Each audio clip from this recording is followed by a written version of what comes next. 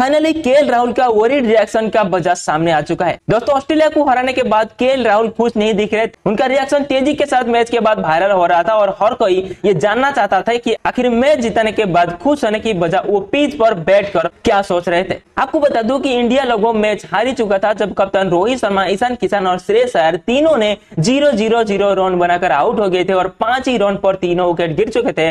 लेकिन तब विराट कोहली और क्लासिक के राहुल ही थे, जिन्होंने एक बेहतरीन पार्टनरशिप करके टीम इंडिया को मैच जिताया। हालाँकि विराट कोहली ने 85 रन बनाकर आउट हो गए और के राहुल ने आखिरी में मैच भी फिनिश किया और छक्का लगाकर भी फिनिश किया, लेकिन उसके बावजूद भी वो खुश नहीं थे। और कोई यही सोच रहा था कि छक्का मार के मैच को फिनिश करने के बाद भी के राहुल खुश क्यों नहीं है? मैं आपको बता दूँ मैच जीतने के लिए आखिर में पाँच रन चाहिए थे और के राहुल को अपना सेंचुरी बनाने के लिए सात रन की ज़रूरत थी। के राहुल यही सोच रहे थे कि पहले मैं एक चौका मारूँगा जो कि स्कोर बराबर हो जाएगा, फिर अगले बॉल में एक चौका या फिर छक्का मारकर मैं मैच को भी जीताऊँगा और साथ ही अपना हंड्रेड भी पूरा कर लूँगा।